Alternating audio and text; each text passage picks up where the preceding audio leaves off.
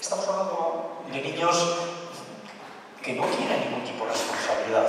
pero que sufren directamente este problema de esta política penitenciaria. Alguien podrá decir, no, bueno, los niños no se dan cuenta, los niños son pequeños,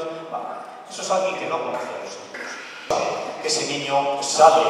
un viernes a la tarde de la Castola o del centro educativo, se monta en una furgoneta, en un autobús, recorre mil y pico kilómetros y llega a la prisión donde está su gaita, o su ama, o ambos, y se encuentra con este maldito cristal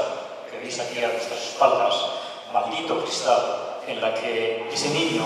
que se recorre esos mil kilómetros de ida a sus mil kilómetros de vuelta no puede abrazar a su aita o a su ama, ni su aita o su ama puede abrazar a este niño. Ese niño sale viernes a la tarde de la Castola del centro educativo,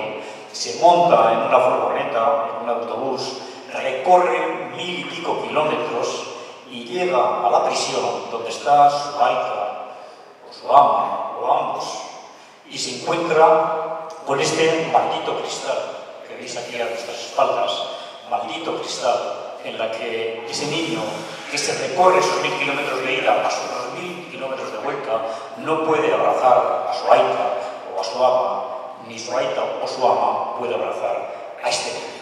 Y esa es la vulneración de derechos que fundamentalmente se está ejerciendo sobre estos niños. Niños que tampoco pueden hacer una vida normal en su núcleo de amistades, de amigos, en la Icastola, en las eh, relaciones extraescolares. ¿Por qué? Porque no están los fines de semana pues, con quien habitualmente tienen que estar con sus amigos, sus amigas de la Icastola, sino que de semana tras semana, año tras año,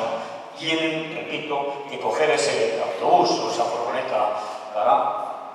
cientos y cientos de kilómetros, llegar a la prisión y permitirme que insista, encontrarte con este maldito cristal en la que incluso se les impide el abrazo con sus aitas, con sus amas.